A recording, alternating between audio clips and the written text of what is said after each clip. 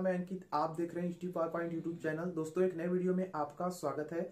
आज की इस वीडियो में हम बात करने वाले हैं यूपी पॉलिटेक्निक फ़र्स्ट ईयर के second semester electrical mechanical civil computer science या बोले केमिकल इलेक्ट्रॉनिक्स इतनी, जितनी भी सारी ब्रांचें हैं दोस्तों, किसी न किसी रूप में इलेक्ट्रिकल का सब्जेक्ट तो आप में होगा ही।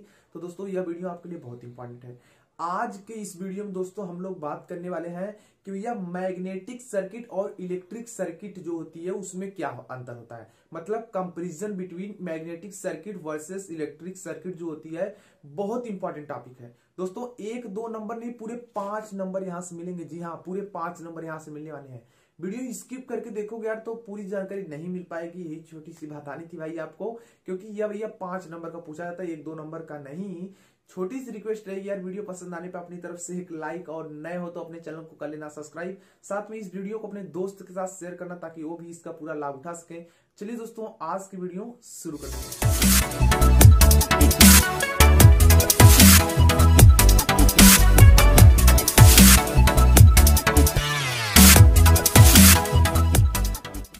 सो so गाइस हम आ चुके हैं कॉपी पे। आज की इस वीडियो में हम जानेंगे कंपेरिजन करेंगे, यानी अंतर देंगे हम आपको मैग्नेटिक सर्किट और इलेक्ट्रिक सर्किट में क्या अंतर है।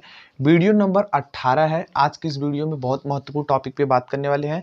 दोस्तों, परीक्षा के दृष्टि से तथा सिलेबस के अकॉर्डिंग यह महत्वपूर्ण टॉपिक है। क्योंकि दोस्तों, आप पिछले ईयर्स का बोर्ड पेपर अगर उठाकर देखते हो तो वहाँ पर एक क्वेश्चन आपको मिल जाएगा लिखने को। देखिए दोस्तों, यहाँ पे जो मैं आपको बताने वाला हूँ कंपेरिजन करने वाला हूँ मैग्नेटिक सर्किट इलेक्ट्रिक सर्किट का समानता, पहले तो हम बताएँगे दोनों में समान क्या है, फिर बताएँगे असमानता क्या है। लेकिन दोस्तों, अगर पेपर में आ जाता है सिर्फ़ तुलना करने को, अगर समानता के आधार पर आ जाएगा तो समानता वाला लिख देना, अगर असमानता पूछता तो असमानता लिख देना। लेकिन दोस्तों, अगर कुछ नहीं पूछता है, वो कह देता भैया, अंतर बताओ। तो भैया, देखो, जितनी पॉइंट बताऊँगा ना, जितना याद रहेगा ना, सब छाप देना। क्योंकि दोस्त, पाँच मार्क्स का आता है। एक, दो नंबर का नहीं, पूरे पाँच मार्क्स का आता है यहाँ से क्वेश्चन तो इसलिए बहुत इंपॉर्टेंट है। समझ लो क्या होता है। पहले थोड़ा सा बेसिक समझ लो। देखिए, सबसे पहले इलेक्ट्रिक सर्किट क्या होता है? ऐसा परिपथ, यानी ऐसी सर्किट जिसमें विद्युत धारा प्रवाहित हो इलेक्ट्रिक करंट फ्लो होती है। उसे हम विद्युत परिपथ कहलाता है या विद्युत परिपथ कहते हैं। दूसरा होता है दोस्तों मैग्नेटिक सर्किट क्या होती है? ऐसा परिपथ जिसमें चुंबकीय फ्लक्स प्रवाहित होते हैं, उसे चुंबकीय परिपथ कहते हैं। तो आपने देखा, जिसमें करंट प्रवाहित होगी, उसे इलेक्ट्रिक सर्किट, जिसमें फ्लक्स प्रवाहित होंगे, मैग्नेटिक सर्किट। बस अंतर इतना है दोस्तों। अब देखिए यह चीज़ दोस्तों, आप जब लिखेंगे, ये दोस्तों ये नहीं कि अलग चीज़ में बता रहा हूँ। यहाँ हमने अलग टॉपिक में कर दिया ताकि आपको समझ में जाए। लेकिन दोस्तों, जब आप इसको इस तरह से मतलब करके करेंगे, इधर एक तरफ़ लिखेंगे इलेक्ट्रिक सर्किट एक तरफ़ मैग्नेटिक सर्किट तो उसमें एक तरफ़ ए वाला लिख देना, दूसरी तरफ़, ताकि आपके यहाँ से देखो एक एक पॉइंट बढ़ गए ना। अब देखिए एक एक पॉइंट मैं और बढ़ाता हूँ आपका। एक पॉइंट देखो ये बड़ा, एक फिगर इसका बना दोगे, एक फिगर इसका बना दोगे। तो दो पॉइंट दोस्तों बढ़ गए। देख सकते हैं यहाँ बैटरी लगा, यहाँ रजिस्टेंस इस तरह से इलेक्ट्रिक सर्किट होती है और इस तरह से मैग्नेटिक सर्किट होती है। जो आपने बनाया तो दो पॉइंट दोस्तों बढ़ गए। आपको याद भी हो गया होगा यार, सोचो कितना अच्छा हो गया। अब दोस्तों, समानताएँ, इंग्लिश में बोलते हैं सिमिलरिटीज सिमिलरिटी क्या है? दोनों में समान क्या क्या है? तो अगर कुछ नहीं पूछेगा तो कुल लिख देना। मतलब जितना हमने बताएँगे, सब कुछ एक ही करके लिख देना है। अगर आप अलग अलग भी करके लिख देते हैं, तब भी कोई दिक्कत वाली बात नहीं है। लेकिन लिखना है सब। जितना कोशिश करो, ज़्यादा से ज़्यादा दस पॉइंट ऑलमोस्ट मिलेंगे आपको, दस से पंद्रह पॉइंट सबको लिख देना है। ताकि आपको यहाँ से पेपर यार अगर एग्जामिनर कम भी करना चाहे ना तो भी कम ना कर पाए। तो देखो यार इलेक्ट्रिक सर्किट एक तरफ़, दूसरे तरफ़ मैग्नेटिक सर्किट होगा। तो क्या क्या समान? देखिए इलेक्ट्रिक सर्किट में इसमें विद्युत धारा आई प्रवाहित होती है, एवं इसका मात्रक एम्पियर होता है। जबकि दोस्तों मैग्नेटिक सर्किट में क्या होता है? फ्लक्स प्रवाहित होता है और इसका मात्रक वेबर होता है। जो दोस्तों इलेक्ट्रिक सर्किट होती है, इसमें ईएमएफ होता है और इसका मात्रक दोस्तों वोल्ट होता है। जबकि दोस्तों मैग्नेटिक सर्किट में ईएमएफ होता है एवं इसका मात्रक एम्पियर टर्न होता है। और दोस्तों हम लोग E M F is equal to I R या तो कहें भी इजिकल टू आई आर एक प्रकार के ई एम एफ़ जो होते हैं। तो E M F is equal to I R होता है, जबकि दोस्तों यहाँ पे M M F is equal to N I होता है। अब देखिए इसमें अगली पॉइंट क्या है? आपके इलेक्ट्रिक सर्किट में विद्युत धारा जो होती है इलेक्ट्रिक करंट का जो विरोध होता है, वह प्रतिरोध करता है और इसका मात्रक ओम होता है। जबकि दोस्तों मैग्नेटिक सर्किट में चुंबकीय फ्लक्स का जो विरोध होता है वो प्रतिष्ठम रिलेक्टेंस करता है और विरोध रिलेक्टेंस करता है और इसका मात्रक वन अपान हेनरी या एम्पियर टर्न प्रति बेबर होता है। दोस्तों, अब यहाँ पे जो अगला जो टॉपिक्स आता है, जो कंडीशन होती है, वह है पांचवा पॉइंट की जो करंट होती है आई इज़ इक्वल टू ध्यान दीजिएगा I is equal to E M F upon R हो जाएगा, जो कि यहाँ से बिल्कुल निकाला गया। उसी तरीके से दोस्तों flux phi is equal to जाएगा M M F upon reluctance इसको मत सोचना कि यहाँ से निकाल लेंगे, ध्यान रहे आपको, ठीक है? तो flux is equal to M M F upon reluctance हो जाएँगे। कुछ और भी सिमिलरिटी है गाइस उसको आप समझ लीजिए कौन कौन सी और सिमिलरिटी है। देखिए जो सिक्स नंबर पॉइंट है, वो R is equal to rho L by A होता है, जबकि S is equal to one upon mu zero mu R L by A होता है। जो दोस्तों रो होता है, इसको प्रतिरोधकता कहते हैं, और इसका जो मात्रक होता है ओम मीटर होता है।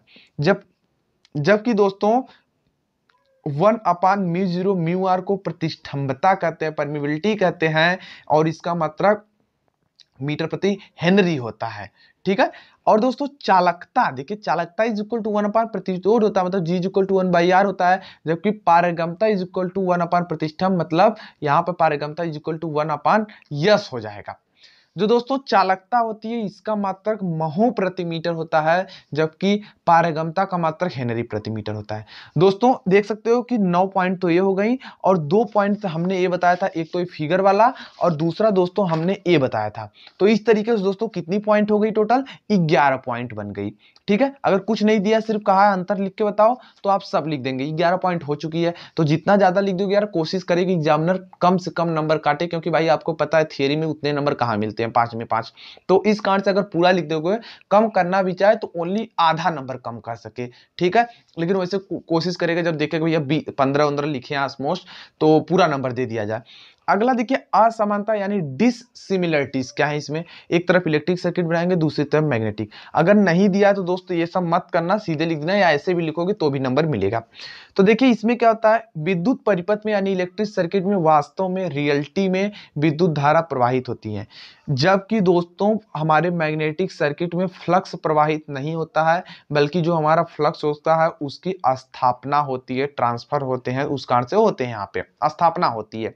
अब देखिए, जो हमारी इलेक्ट्रिक सर्किट होती है, उसमें रेजिस्टेंस के कारण गाइस उष्मा का व्यय होता है, जबकि मैग्नेटिक सर्किट में कोई उष्मा की हानि नहीं होती। देखिए वायु जो होता है, दोस्तों, विद्युत का सबसे अच्छा कुचालक होता है, जबकि दोस्तों वायु में भी हमारे चुंबकीय फ्लक्स प्रवाहित होते हैं। अतः दोस्तों, हम कह सकते हैं, ये फ्लक्स के बहुत ही, ये बहुत ही अच्छे कुचालक नहीं है, क्योंकि फ्लक्स आपका वायु में भी फ्लो होता है। अब देखिए दोस्तों, यहाँ पर इसमें मतलब अगला मैग्नेट, आपके इलेक्ट्रिक सर्किट में, इसमें चुंबकीय मंदायन जैसे, यानी हिस्टेंस जैसी घटना नहीं होती विद्युत परिपथ में, जबकि दोस्तों चुंबकीय परिपथ में मंदायन जैसी घटना होती है।